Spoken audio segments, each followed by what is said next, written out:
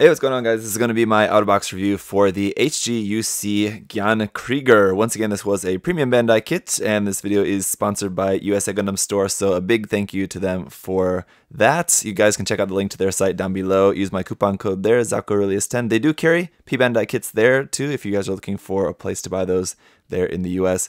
You can check those out there. So this kit, basically, um, it kind of surprised me in a few ways, but it was pretty much exactly what I expected. Basically what this is, is just a reskin of the HGUC Revive Gyan, but there's a lot more reskinning than what I was expecting. If you guys saw in the unboxing, there was very little of the Revive Gyan actually in there. I think it's basically like they reused some of the joints, but then just remade everything else. But everything else still works pretty much in the exact same way. They just change the armor. So like a lot of times when that happens on P Bandai kits, when they're remaking some parts of it, those new parts that they're making are just kind of like simplified versions and don't always like work as well. This is like the exact same kit, but everything on the outside is just shaped and colored a little bit differently. So it's a really, really good kit. Basically, if you've if you've seen my review of the Revive Gyan, then this is gonna be like exactly the same, just this one's purple and a lot more angular looking and a lot more cool looking in my personal opinion. I'm not really a big fan of the classic Gyan design. I much, much prefer this version. Still, the pointy head is not entirely for me. I'm not still huge on the head of it, but this overall is a big, big improvement for me over the original Gyan design, so I like it quite a bit. Building the kit, fun, simple. There's very few seam lines on it. There's very few stickers on it. It does have some cool accessories, albeit pretty basic, but it's that's every other version of the Gyan. Doesn't really have a whole lot of accessories, so you can't be too surprised there.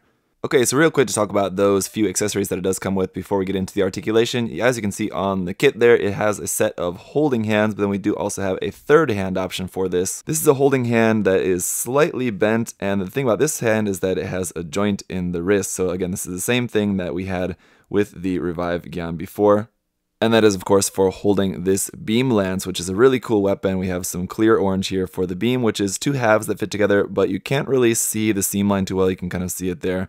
Uh, so it's not too bad. I think it's okay. And then we have our handle here in a light gray color. Very nice. It'll just pop the hand on there like so, and then it should hold that with no problem. So we'll see that in action here soon enough. Then we do also have a new shield here as well. Really cool design with the purple part laid inside this black part. I was worried if that was going to be a sticker or not. But fortunately, it is actually a separate piece. You can see this back part is purple, and then this the black part is the part that kind of fits around that. And then we have our part here for a handle as well. The unfortunate thing is that these beam saber handles here are just molded in. Those don't actually come out. You're not actually able to use those as beam saber handles. You could, I guess, take them out, but they don't really do anything. You'd have to drill some holes. You have to, anyway, you you would have to modify them to turn them into actual working beam sabers, and then you don't have any beam saber effect parts. You'd have to take those from a different kit. Also, this handle here does rotate there at the grip, and that's pretty much it. it just should just fit onto the arm. They're relatively simple.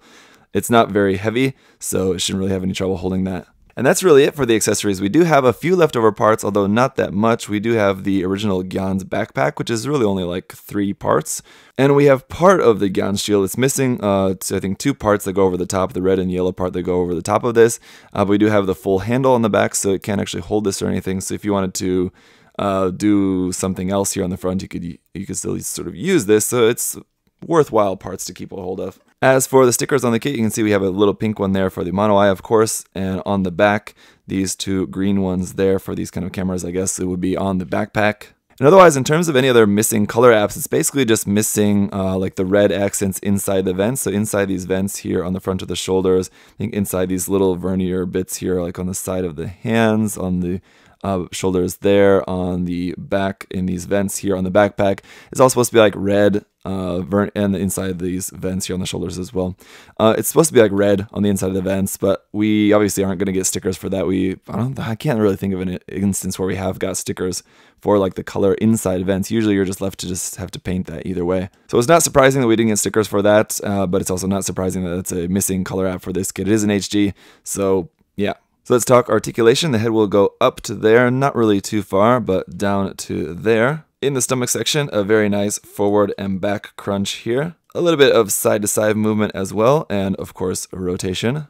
At the shoulder, you're able to bring the arm up all the way to there, which is very nice. You're also able to extend that shoulder joint out to the front a little bit there, not a whole lot, but it will help to bring the arm forward. Fortunately here on the shoulder, the seam line doesn't run all the way through the top of this as this top part is a separate piece. There's a little bit of seam line there in the corner of the shoulder armor, but that's it. A seam line here on the top of the body there as well. Of course, a seam line here on the side of the backpack, seam line down the center of these gray parts. A seam line down the side of the forearm here where there's that purple part. A seam line down the back of the leg all the way down here, a little bit there at the top too, and then a seam line on the front of the leg a little bit right there. So it does have some seams, but for an HG, it's it's fairly regular. I think a lot of those you could probably very easily just turn into panel lines.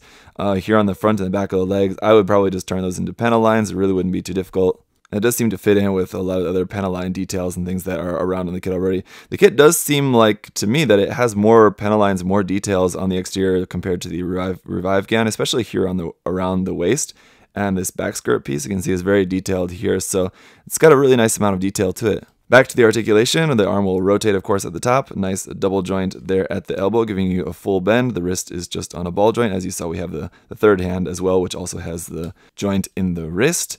As far as our front skirt armor, those can be separated and only move up to about there, as though they're getting blocked by something in the back there. The side skirt armor as well, only really going to be able to move up a little bit because it's just hitting the center of the torso there. But that said, you can still get the legs all the way out to the side so it doesn't really hinder the movement of the legs at all. The back skirt does move up and down a little bit as well, and it's definitely worth taking a look up under the hood to see this really nice detail up under there. We have a separate part for inside there, so you can paint that very easily, and there's these nice thrusters there for some nice extra detail up underneath there. Very cool. And seeing as I skipped over it, let's go back to the backpack. Obviously, these fuel tanks will move up and down, and that's pretty much it. These little vents in there don't move up and down at all. This little center part, not really sure what that's supposed to be. It looks like it's supposed to be something, whether that is, um, I don't know, I don't even really want to guess, but it does look like it's supposed to be something, but I just don't know what. Back down here to the legs, we can rotate those at the top. And we're going to have a nice full double joint there in the knee. No knee armor part separation or anything with that though. This little flap on the back does move up and down a little bit with another thruster hidden up inside there. And this little armor on the front of the ankle does also move up and down a little bit as well.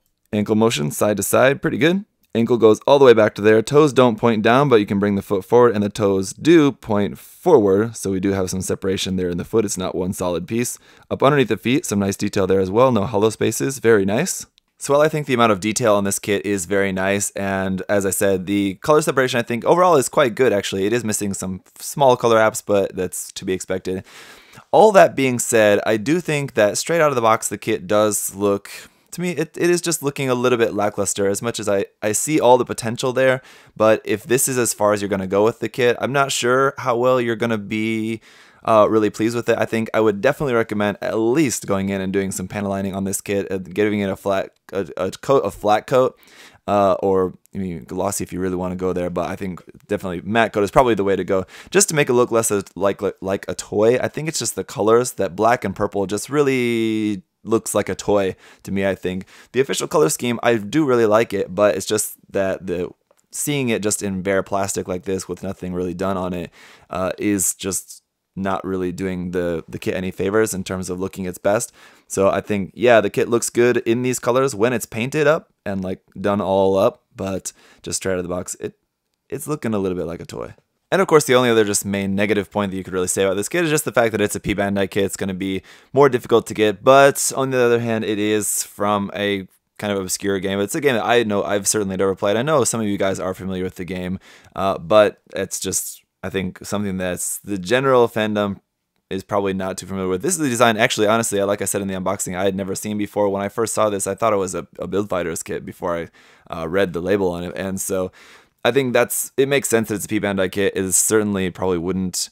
I think it it would have been popular enough as a standard release, but there wouldn't be that recognition there. I think it really wouldn't have been able to uh, achieve the numbers good enough for it to be able to be sold as just a standard release kit. So, and while it is a relatively simple kit, it does have a list price of 1800 yen, which is a little bit high for an HG. So I'd imagine for folks living outside of the US, this is going to cost uh, at least, you know, $25, $30, if not 40 or possibly higher. And then at that point, you know, you really have to be considering if this is really going to be worth it for you or not.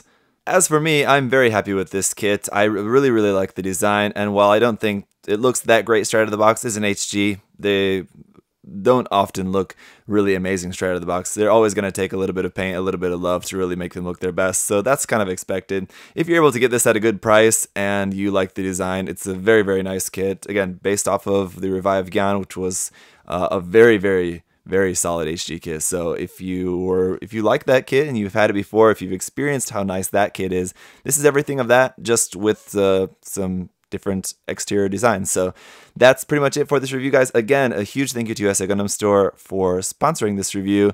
Big thank you to you guys, as always, for watching. And if you do have any other further questions or comments, feel free to leave those down below. I think I pretty much covered everything. Like I said, it's a relatively simple kit. There's not a whole lot to it. It's just a really cool design. So that's it for this video, guys. I'll see you guys next time. Bye-bye. Hey! Thanks for watching, guys. Remember, if you want to check the kit out for yourself, you can head over to USA Gundam Store. Use that coupon code ZAKUAurelius10. Save yourself 10%. Thanks for watching, guys. See you next time. Bye-bye.